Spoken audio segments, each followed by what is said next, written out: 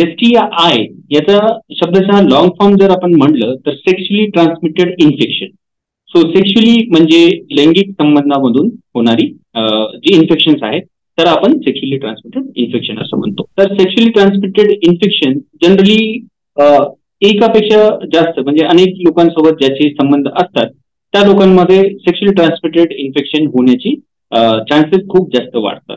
आणि त्याच्यामध्ये देखील जर कोणी अनप्रोटेक्टेड विदाऊट कॉन्डम जर सेक्शुअल रिलेशनशिप ठेवत असेल तर त्या लोकांमध्ये आणखी जास्त त्याचं प्रमाण वाढतं. पुरुषांमध्ये एसटीचं प्रमाण जास्त आहे असं म्हणता येत नाही कारण ऑलमोस्ट इक्वलच आहे. पण सिक्स्टी फॉर्टीचा रेशो आहे पुरुषांमध्ये थोडंसं हायर रेंट पाहायला भेटतं. तर मुख्यतः एसटीआयला आपण कुठली कॅटेगरी नाही करू शकत आणि त्याला लिंगासोबतही जोडू शकत नाही. तर मोस्टली जे कॉमन एस टी आय आपण पाहायला भेटतं आम्हाला क्लिनिकल प्रॅक्टिसमध्ये तर सध्या सिफिलिस नावाचा जो एसटीआय आहे सेक्शुअली ट्रान्समिटेड इन्फेक्शन लैंगिक संबंधातून होणार आजार त्याचं प्रमाण दिवसेंदिवस थोडंसं परत एकदा वाढताना आम्हाला दिसत आहे. जसं आम्ही टेस्ट करतो रुटीनली चार टेस्ट आपण करतो. एक म्हणजे एच आय व्ही दुसरं म्हणजे हिपॅटायटिस बी तिसरं म्हणजे हिपॅटायटिस सी आणि चौथं म्हणजे सिफिलिससाठी बीडीआरएल किंवा आरपीआर ही टेस्ट आपण करतो. तर त्याच्यामध्ये सर्वात जास्त प्रमाण सध्या आम्हाला सिटीजचं पाहायला भेटतं.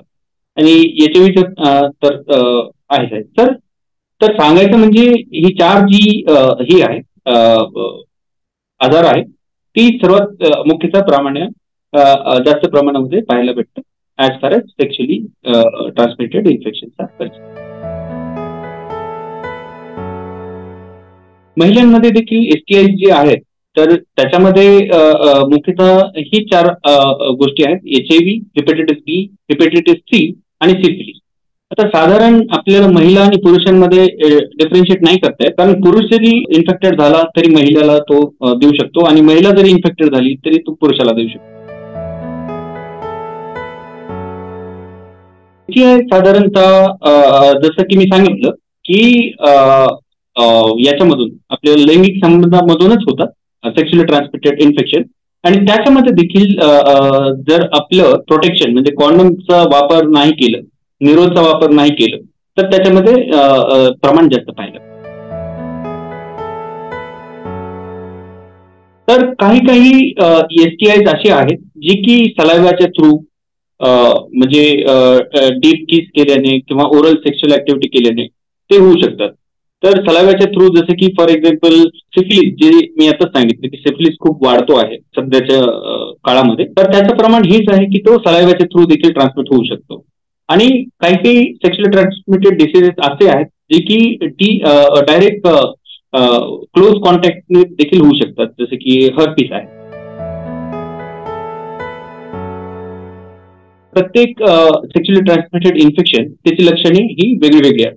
जसे की फॉर एक्झाम्पल आपण एच आय व्ही म्हणलं तर त्याची लक्षणं वेगळी आहेत.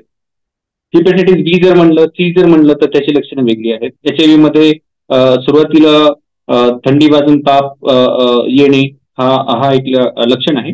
आणि त्याच्यानंतर मग पाच ते आठ वर्ष व्यक्ती काहीही सिमटम्स म्हणजे काहीही लक्षणं न दाखवता एकदम शेवटच्या स्टेजला स्टेज थ्री आणि स्टेज फोरमध्ये टीबी वगैरे जे इन्फेक्शन आहेत ते डायरेक्टली होतात. आणि जसं की हिपेटायटिस बी हिपेटायटिस बी आणि सी मध्ये कावीळ आपला कावीळ झाल्यावर जे सिमटम्स येतात जसे की उलटी येणे पित्त होणे जेवण न जाणे वगैरे तर ती इनिशियली लक्षण असते हेपेटायटिससाठी आणि सिफिलिससाठी जसं आपण म्हणलं की सुरुवात त्याला तीन स्टेजेसमध्ये भेटलं जातं. प्रायमरी सेक्रेटरी आणि टर्शिप तर प्रायमरीमध्ये जे आपलं जननांग आहे तर त्याच्यावर थोडीशी अल्सर सारखं येऊन जातं. तर त्याला प्रायमरी स्टेज आपण म्हणतो चँकर त्याच्यानंतर सेकंडरी स्टेजमध्ये आपल्याला पाहायला भेटतं की हाताची तळवे आहेत. त्याच्यामध्ये गोल गोल असे डार्क स्पॉट्स येतात. तर त्याला आपण सेकंडरी सिफिलिस वगैरे लक्षण म्हणतो.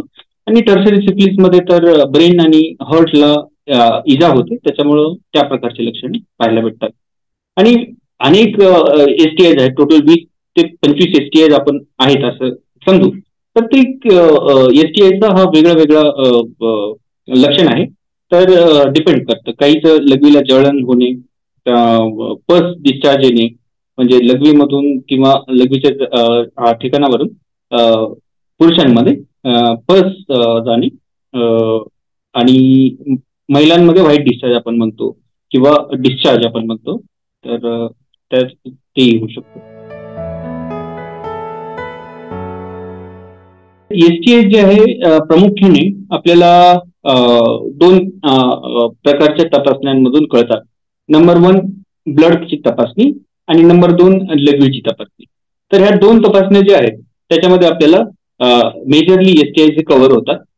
आणि त्याच्यामध्ये पण आणखी स्पेसिफिक जायचं असेल तर फॉर एक्झाम्पल कुठल्या व्यक्तीला वॉर्ट आहे किंवा जेनायटल एरियामध्ये काही लक्षण आहेत तर तिथल्या ठिकाणचा आपल्याला एक स्वाब घेता येतो. किंवा जर आपलं डिस्चार्ज कुठला आहे तर त्याचं कल्चर अँड सेन्सिटिव्हिटी टेस्ट आपण करतो.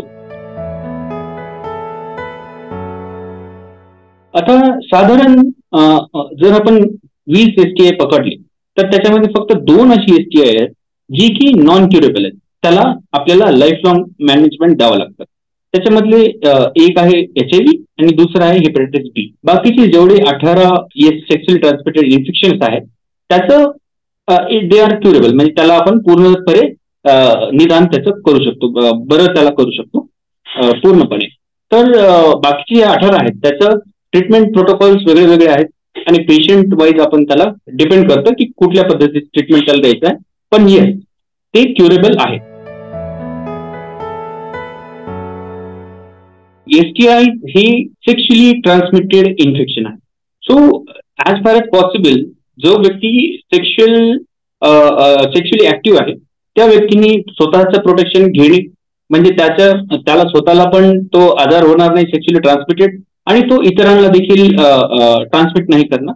तर सर्वात महत्वाचं म्हणजे मल्टिपल पार्टनर्स नसावेत आयडियली आणि जरी असतील तर प्रोटेक्शन म्हणजे कॉन्डम यूज करणे आणि निरोध यूज करणे हे हे दोनच गोष्टी आहेत बेसिक थमरून तो तर बाळामध्ये प्रेग्नेंट महिलेपासून बाळामध्ये एसटीए काही येऊ शकतात. जर त्याच्यात मधले महत्त्वाचे दोन एसटीए म्हणजे एच आय व्ही आणि हेपेटायटिस बी तर एच साठी ऑब्विसली जेव्हा पण प्रेग्नन्सी एनरोल केली जाते तर सर्वात पहिले महिलेचं स्क्रीनिंग केलं जातं. H I V hepatitis B आणि सिपली ह्याच्या व्यतिरिक्त थायरॉइड केली जाते त्याच्यानंतर शुगर केली जाते आणि इत्यादी केली जाते. पण महत्वाचं एच आय व्ही आणि सिफिलिस आहे कारण ही जी आजार आहे एच आय व्ही बाळा जाऊ शकतो आणि तो लाईफ लॉंग मग एच आय पॉझिटिव्ह राहू शकतो. म्हणून आपण compulsory H I V testing गरोदर मातेची करतो. नंबर दोन सिफिलिस सिफिलिसचं जी तपासणी आहे आपण करतो व्हीडीआरएल किंवा आरपीआर टेस्ट मधून. तर तो जर पॉझिटिव्ह असेल तर महिलेला काही ट्रीटमेंट आपण दिली दिली जाते जेणेकरून की ती बाळाला ट्रान्समिट नाही करावी. तर हे दोनच महत्त्वाचे आय आहेत जे बाळामध्ये जीव घेणं किंवा कॉम्प्लिकेशन्स तयार करू शकता आणि त्याच्यासाठी ऑलरेडी गव्हर्नमेंटमध्ये uh, म्हणा किंवा प्रायव्हेटमध्ये म्हणा आपण त्यांची टेस्ट ही मॅन्डेटरी करून घेत असतो.